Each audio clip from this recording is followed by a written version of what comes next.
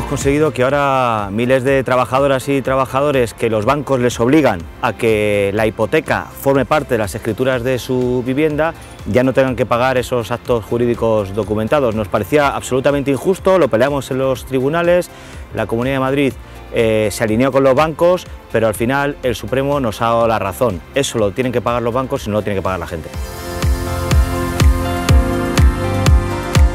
Esto demuestra que los ayuntamientos eh, defendemos a la gente y que los ayuntamientos son necesarios para que las situaciones injustas que vemos que pasan en nuestro territorio las llevemos a la justicia. Ahora toda la población se va a poder beneficiar de esta medida porque un ayuntamiento decidió pelearlo hasta el final.